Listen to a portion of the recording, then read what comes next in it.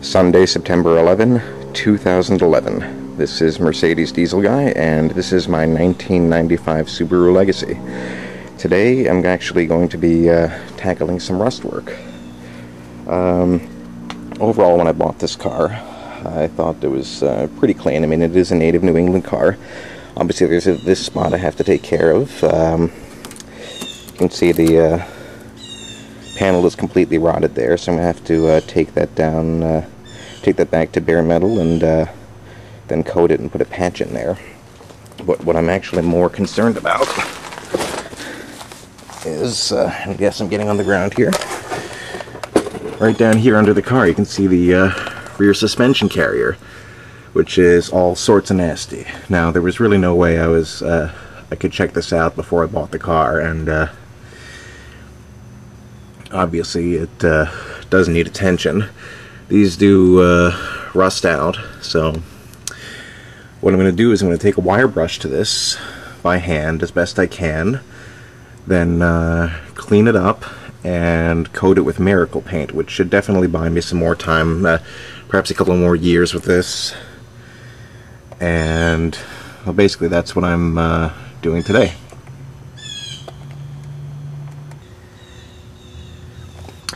Okay, I've been scraping away at everything for a couple of minutes now uh, with the wire brush, so pretty much ready to break, break out the uh, brake parts cleaner and clean this up so I can then get to um,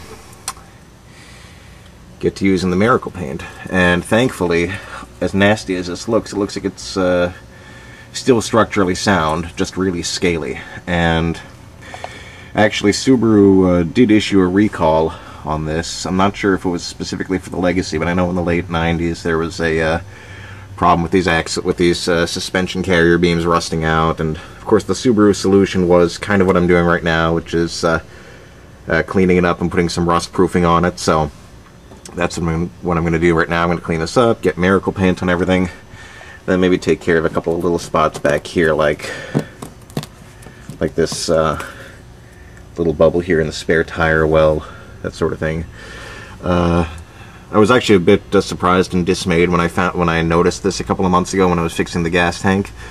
Uh, I didn't really have any way of checking this out when I bought the car. I know some people say, well, you should have a car inspected when you buy it, but when you buy cars as cheaply as I do, um, there's really no uh, uh, no practical way to do that. Most people don't want to deal with an inspection. I know when I sell a cheap car and somebody says they want to have it inspected, I basically tell them, look, you you look at the car yourself.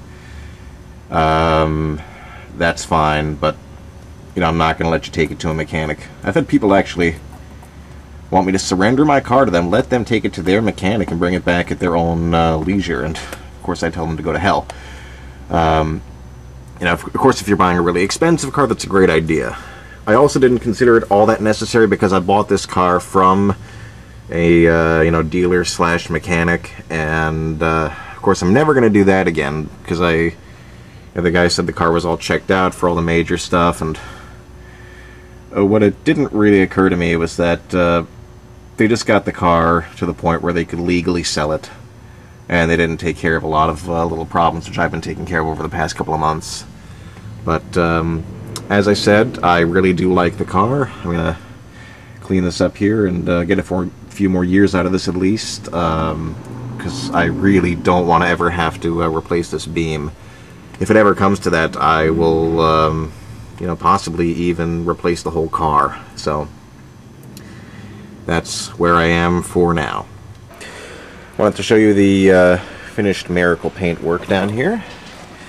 See, I got these uh, spots on the uh, spare tire well, which really, uh, thankfully, were just surface rust. I was afraid that maybe they uh, there were some uh, holes there, but uh, no, I scraped it down. It was just surface rust, so that's just fine.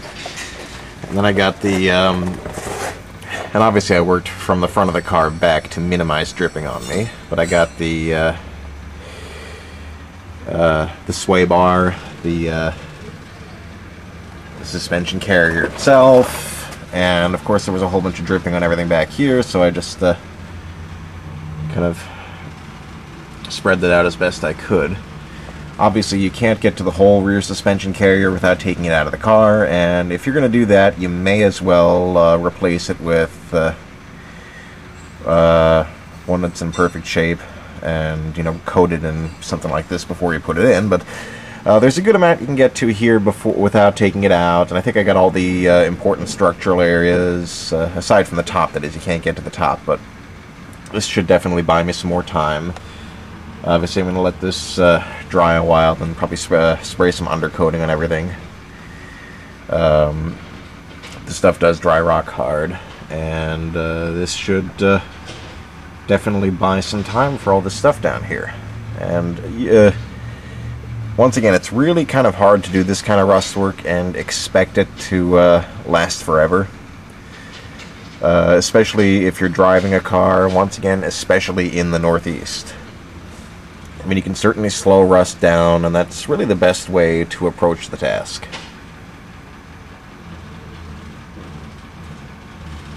I suppose if you start from scratch, you can probably uh, you know, take everything apart, you know, put good uh, put a good amount of coating on everything, and that would do the job. But uh, most people don't have the time, money, or resources to do that, so that's what this is. Uh, that's how this turned out. And like I said, I'm probably going to spray some uh, undercoating on here before I'm done for the day.